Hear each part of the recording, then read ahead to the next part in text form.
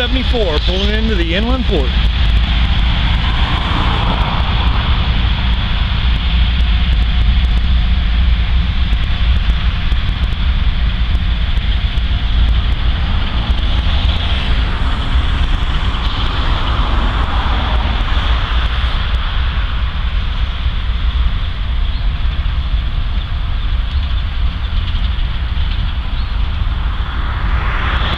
Carrying those covered hopper cars. They probably were down there at what uh, used to be called Mitsubishi Plastics. I'm not sure who owns it now.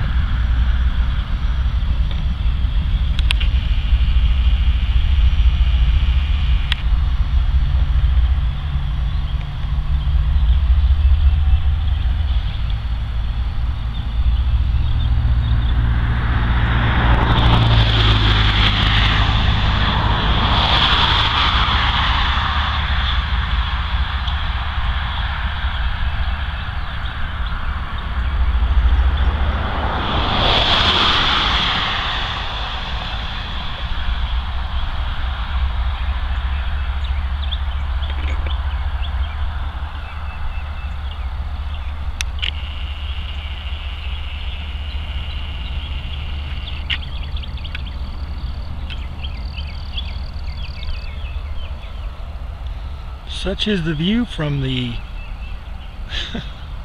place where we have the monthly meetings of the Carolina Rail Heritage Association. Just across from the inland port. Greer, South Carolina.